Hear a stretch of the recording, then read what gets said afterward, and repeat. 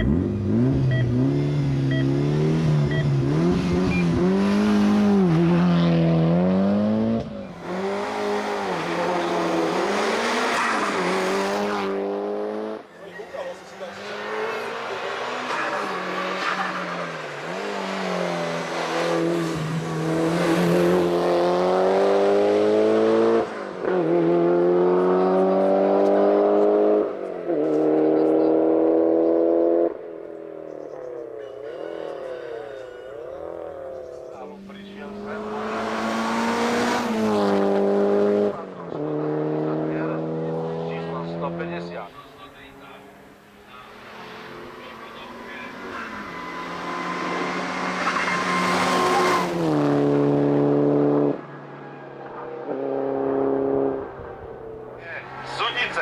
A zo, su, zo Sudic, alebo zo Sudice tu máme aj Kristínu Pilovu, takže zdá